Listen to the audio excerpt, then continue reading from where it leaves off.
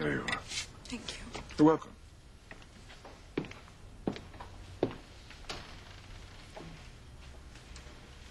Now, about Ethan. Ah, Julian. Please don't give him this transfer. Don't let him leave Harmony and take my daughter with him. Theresa, I really can't force him to stay here if he doesn't want to. You know you're head of the company. Come sit.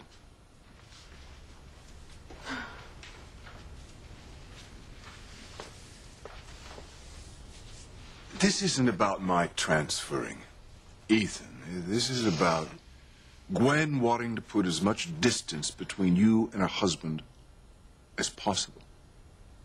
If I refuse to transfer Ethan within Crane Industries, I, I could see him breaking his contract and taking a job somewhere else.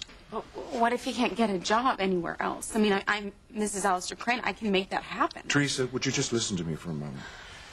Father's health issues have put the the world markets in a panic. And if Crane Industries goes down, the global economy goes with it. I'm doing everything I can to try to keep this company above water, but I think that we will be in big trouble if we lose Ethan. I can't lose him either, Julian. And my daughter. You know, sometimes sometimes we get so caught up in the way we want things to be, we forget that we can't control every aspect of our lives. Love doesn't always follow the smoothest path, even though we wish it would. Look at my life with Eve, all the the difficulties we went through before we wound up together. Well, I, I can't wait over 20 years to be with Ethan. No, but that's I, I'm not saying that. Okay, what are you saying then?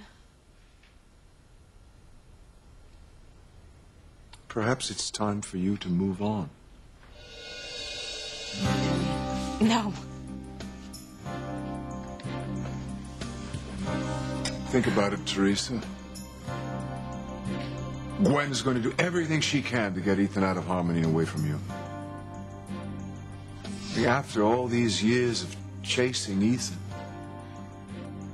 isn't it perhaps time for you to move on without him? Thank you for the advice, Julian.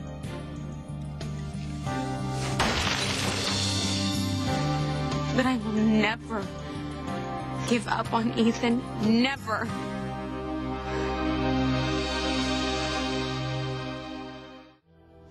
Julian, Ethan is supposed to be with me, not with Gwen. We're supposed to be a family with our daughter and my son. It's just this, this it's been a fat mess that I've been trying to fix. And if you give Ethan this transfer, I'm not going to be able to fix it. Please, Theresa, would you just take your blinders off and see the situation for what it is? Ethan is married to Gwen. He is not going to leave her. You are married to my father until he either dies or kicks you out. And even if you end up a merry widow, Ethan is not going to break his vows to Gwen. Yes, he will. No! He won't. Things are the way they are, and they're going to stay that way. And we, for God's sake, for your sake, would you accept that and move on with your life? To what, Julian? Being married to your father? You can focus. You can focus on your son, our son. Well, he was supposed to be my son. Okay, but he, Ethan. all right, he's not. But does that make you love him any less? Of course not. Well, see, then you should count your blessings. You should focus on what you have, not on what you don't. You know, I, I can't do that when it comes to Ethan, Julian. I can't. I, I love him too much to just give up on him. Good God. I, I, I'm gonna find a way to keep him in harmony. I am. I'm gonna, I'm gonna find a way for us to get married, the way fate intended us to be. And I'm gonna be his wife. If it is the last thing that I do.